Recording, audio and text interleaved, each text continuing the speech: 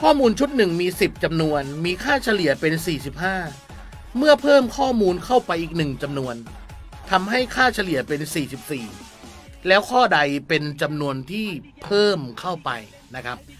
เดี๋ยวจะจับเวลานะครับ จับเวลาทั้งหมด 30 วินะฮะ เริ่มจับเวลาครับ ใครทำได้เท่าไหร่ตอบมาครับครูครับ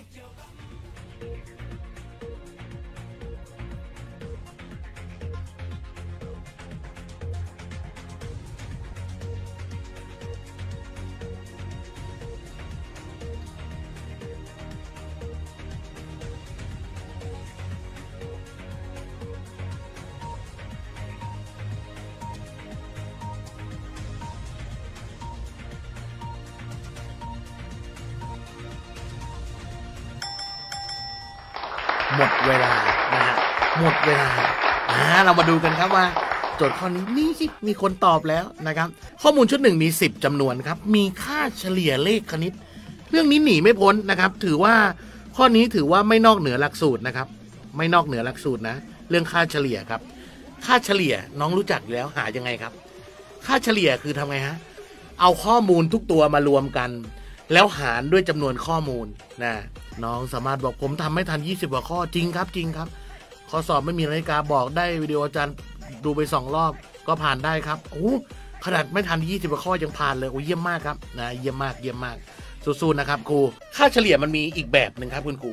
แบบค่าเฉลี่ยแบบ 2 กลุ่ม 2 กลุ่มเขาเรียกแบบถ่วงน้ำหนักนะครับ ถ้าใครนึกภาพไม่ออกนึกถึงตอนเกรดเฉลี่ย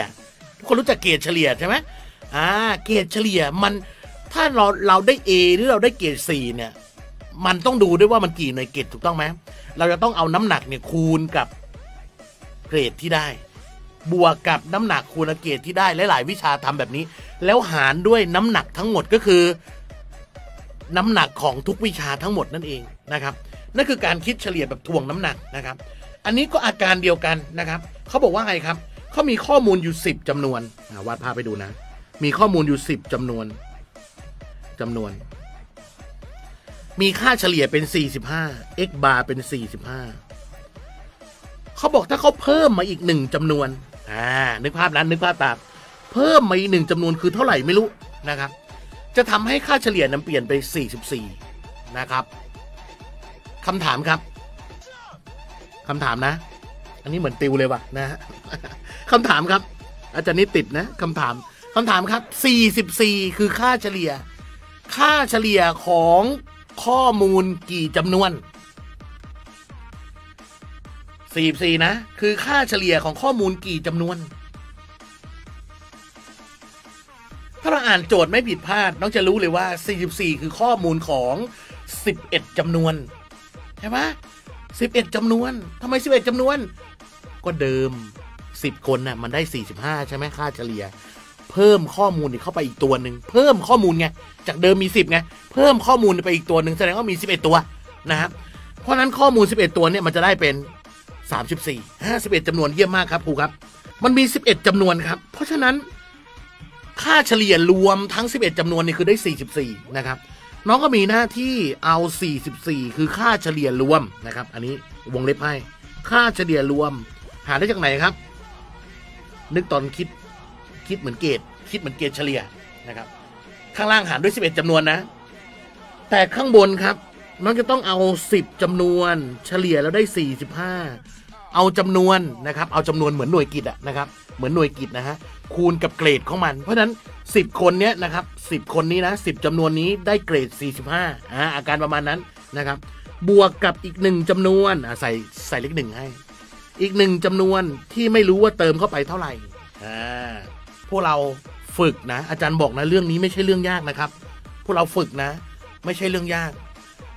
เราจะเราจะไม่ค่อยเข้าใจตัวเองว่าเอ๊ะมันจริงหรือว่าอาจารย์แก๊ปพูด น้องลองไปถามคนที่สอบได้นะครับ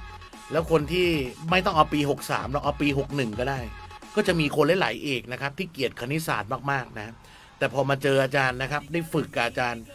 เอาเถอะอาจารย์มีวิธีนะครับในการเตรียมตัวให้พวกเรานะฮะเดี๋ยวใครอยู่อยู่ในกลุ่มอยู่แล้วฟังนะครับ เดี๋ยวไปติวในกลุ่มนะ หลังสองทุ่มไปนะครับ เอาข้อนี้ก่อน ข้อนี้เราจะหาค่า x ครับคุณครูหาค่า x ทำยังไงล่ะทำยังไงครับ แก้สมการ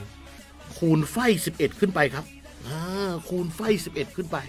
คูณไฟไฟไฟไฟไป11คูณ4ได้44ใส่4ทด 4 11คูณ4ได้44ทด4เป็น48อ่าเท่ากับ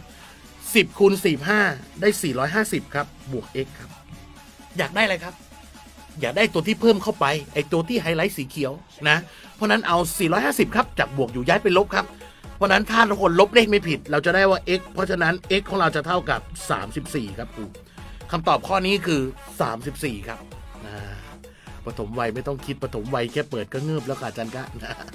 เออแต่อาจารย์บอกเลยนะ เอกปฐมวัยก็มีคนสอบได้นะ มีคนสอบได้ที่หนึ่งด้วยนะครับ แต่เพียงรอบนี้มันสอบได้น้อยเท่านั้นเองนะครับ เพราะฉะนั้นในเอกปฐมวัยก็ต้องมีคนที่ทำคณิตศาสตร์ได้บ้าง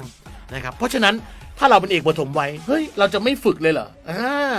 ณวันนี้อาจารย์แก๊ปมาติวให้พวกเราเฉยๆนะครับมาติวให้พวกเราเฉยๆ มันจะมีกลุ่มลับด้วยนะ คุณครูสามารถสมัครได้นะครับ กับเพจน้องจะได้เจอทุกวิชาเลยนะครับ กับการเตรียมตัวสอบนะฮะ ใครจะสอบท้องถิ่นใครจะสอบครูกทมใครจะสอบรอบไหนปีหน้านะครับ สามารถลงคอร์สนี้ได้เลยครับ เป็นคอร์สออนไลน์นะครับ เจออาจารย์แก๊ปเจอรองผอเก่งเจอครูเอ่ออาจารย์เทพเจอครูบีทเจอโอเจอเต็มไปหมดเลยนะครับ สามารถติดตามได้ในคอร์สออนไลน์นะครับนะที่สำคัญน้องจะได้หนังสือไปด้วย และได้ดีวีดีไปด้วยนะครับดีวีดีในการเตรียมตัวสอบไปด้วย แล้วได้เข้าคอร์สออนไลน์ด้วยนะครับ เป็น โปรโมชั่นที่เขาเรียกไงคุ้มพอสมควรนะครับ น้องติดต่อสามารถติดต่อได้เลย